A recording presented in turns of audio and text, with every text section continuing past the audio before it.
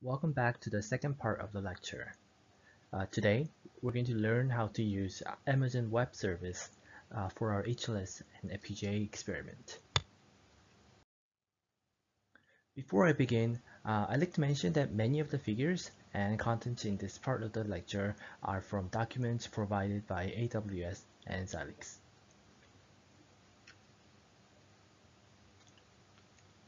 Uh, today's learning objective is to be able to explain the architecture of AWS F1 instance and also be able to create and log into an AWS instance. Amazon Web Service is the uh, on-demand cloud computing service provided by Amazon. And uh, in AWS, you're not paying a flat monthly fee. Uh, their fee is charged after you use their service and it is based on how long and how many platforms uh, you have used. Um, AWS can be used for machine learning, high performance computing, application service, uh, application development, uh, or many other things. For our class, uh, we're going to use FPGA on their Elastic Compute Cloud. And um, I don't have the latest numbers, but as of uh, 2019, uh, AWS is the uh, leading cloud service provider with 45% of their worldwide uh, market share. Amazon EC2 offers many different types of computers. Some are general purpose, uh, some are compute optimized, storage optimized, and memory optimized. The capital letters MCI uh, reflects the type of instances and the number uh, shows the uh, generation. There are some instances types that have uh, special hardware. Uh, some have GPUs and uh, some have FPGAs. The one we're going to use in this class is called F1, the one that has an FPGA. The F1 instance has a Xilinx UltraScale uh, VU9P. Uh, depending on the number of FPGAs it has, uh, the naming is a little bit different. Uh, the one we're going to use in this class is uh, F1 2X large, uh, which has one FPGA board. Let's see how the FPGA acceleration is being done on the AWS F1. Amazon Machine Image or AMI is a template of a virtual machine that includes the OS and all the software that is needed to generate and run an FPGA bitstream. Uh, we'll use the latest AMI provided by Xilinx and this is loaded onto the uh, EC2 F1 instance. Uh, the FPGA stream on the F1 instance is called Amazon FPGA Image or AFI. The AFI is loaded onto an UltraScale uh, FPGA that is connected to a server through PCIe. Uh, it's quite similar to the GPU you plug into your motherboard. Uh, the accelerator on FPGA will communicate with CPU through uh, PCIe. The CPU acts as a host, so you can think of it as a software controller. Also note that the uh, FPGA has its own DDR. Uh, this DDR is different from host DDR. Um, so there's when there's lots of data, uh, you need to copy the data from the host DDR to the FPGA device DDR through the PCIe. Here's the development flow on AWS F1. First, you launch the FPGA Developer AMI, uh, which includes the programming environment and the hardware development kit or HDK. Uh, then you would uh, develop an FPGA custom logic. Uh, in this class, we're going to use the C-based uh, high-level synthesis to make a custom logic, uh, but you can also choose to use Verilog or OpenCL-based HLS. Uh, you should also make a host program that controls the custom logic. based on these um, source codes, uh, Xilinx Vitis will make a hardware bitstream or AFI uh, for you. Uh, then you can run your AFI on an F1 instance or put it on AWS Marketplace uh, for others to use. Now, uh, here's one clarification I want to make. Uh, you only need to run your AFI on an F1 instance, but you don't need to make an AFI on an F1 instance. Uh, you can actually make an FI on any instance uh, using the FPGA Developer AMI. Um, the reason we do this is due to the cost of AWS F1. Uh, let's see this on the next slide. As of uh, summer 2021, F1.2x large on North Virginia uh, costs $1.65 per hour, but uh, M5 2x large uh, which has a similar compute capability, uh, only costs $0.384 per hour. Since AFI creation typically, typically takes many hours, you may want to spend most of your time using a cheaper server, uh, M5.2x large, and run an F1 instance only one when needed. Uh, but this really depends on how tight your budget is. Also, uh, please be careful about your storage cost. Uh, even if you do not do anything uh, with your node, each gigabyte costs about 10 cents uh, per month. Uh, so a node with the 100 gigabytes of SSD is to cost you about $10 per month. Uh, there's also cost associated with the uh, data copy uh, as well. So um, Please do not overcreate nodes that you're not going to use. Also, please do not copy large amount of data uh, that is not very necessary. Uh, otherwise, uh, you're going to see a huge billing at the end of the month. From now on, I'm going to explain how to create an AWS instance and how to log in. For those of you who are familiar with this process, uh, may want to skip the video to the next part. And uh, starting from this slide, uh, I'm going to assume that you have never used AWS before. First, you want to sign up for AWS and create an AWS account. Uh, go into this link and you can follow the steps uh, they ask you to do.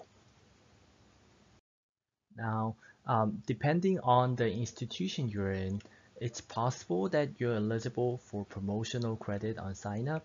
Um, you want to check with your IT administrator if you're able to obtain this.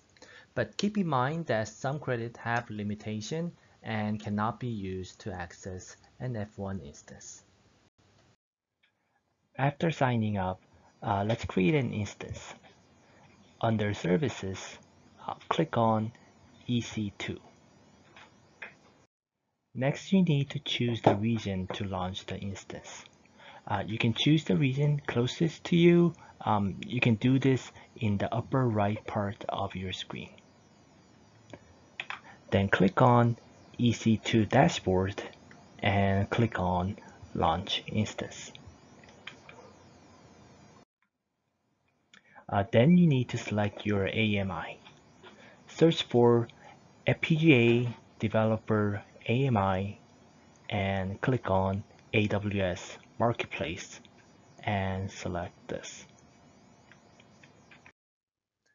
Uh, then select the instance type. For now, you can choose either m5.xlarge or m5.2xlarge. Uh, if you want to speed up the compilation process or Vitis complains about lack of memory, uh, you may want to switch to a larger node uh, later.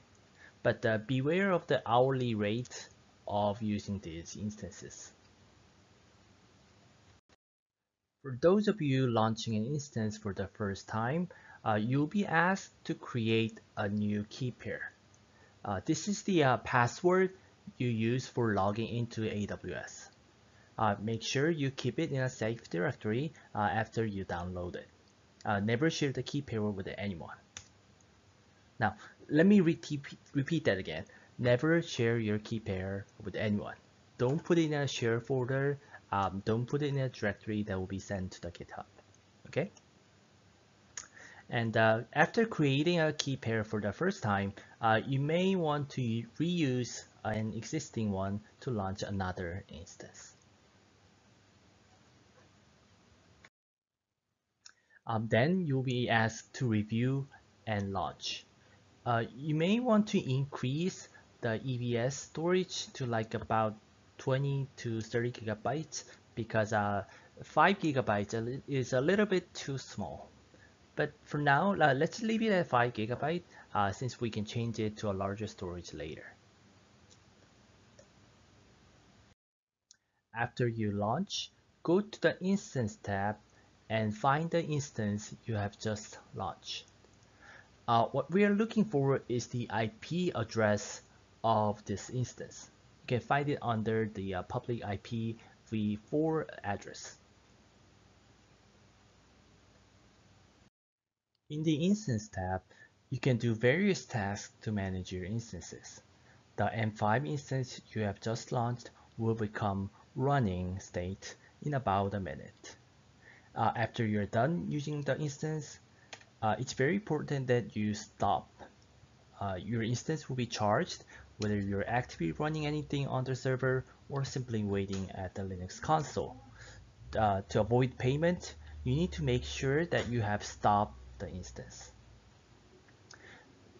When you come back to use a stop instance, you can click on the start instance and your instance will have a new IP address that you can log in. Now, even after stopping an instance, keep in mind that you'll still pay for the storage you have attached to your instance. The cost is a lot less than using a compute node, but it, will still cost something. So if you're certain that you no longer use certain instances, you may want to terminate the instance. Uh, but be careful since you can never revive an instance that has been terminated. Also make sure that your related hard disk volume has been deleted as well uh, when you terminate an instance. Let's SSH into AWS instance. If you're using Linux, uh, you can log in with the command ssh-i your key pair file name uh, CentOS at IP address uh, of the instance you just created. Uh, if you're using Ubuntu Linux, you need to change the ID to Ubuntu. But uh, as of 2021, uh, FPGA Developer AMI is on CentOS. And uh, if you get a complaint about an unprotected uh, key uh, private key file, um, you can also type change mode 400 your key pair file name to make the key pair file file yourself read only. If you're using Windows, uh, you can use any SSH software you're using, uh, but uh, if you have never done this before, you can download a PuTTY. this is a freeware and install the software. using the key pair is a little bit tricky on PuTTY um, you need to run a different program named PuTTY uh, key generator. After selecting RSA, uh, load the key pair uh, file you just downloaded from AWS, uh, the .pem file. Uh, then you can press the save private key button, uh, then it will be saved to an PPK file. Uh, next, come back to launch your PuTTY. Uh, in configuration, uh, click connection, SSH authentication, and then browse for the PPK file you just created with Keygen. Finally, come back to the session tab and put uh, CentOS at the instance IP address on the hostname. Also make sure to save the setting uh, so that uh, you only need to change the IP address uh, the next time you log in. Then you're ready to log in. In the next video, we're going to uh, run the Hello World example on AWS. But uh, before moving on, uh, please request for increasing the F1 instance limit. It's typically zero uh, when you first make your account, uh, you probably want to put 8 on the vCPU limit when you uh, request for an in increase. Now, not every AWS region has F1. The one I'm using is uh, North Virginia. Uh, after you uh, submit the request, AWS customer service will probably approve the request in a couple of days. Now, uh, let's summarize this lecture. In F1 instance, FPGA is connected to host CPU uh, via PCIe interface. You can create an FPGA image on any EC2 instance using FPGA Developer AMI. Um, it doesn't need to be an F1 instance, it can be done on an M5 instance as well. Uh, you need to SSH into an AWS instance with a key pair and make sure you keep the key pair in a safe place.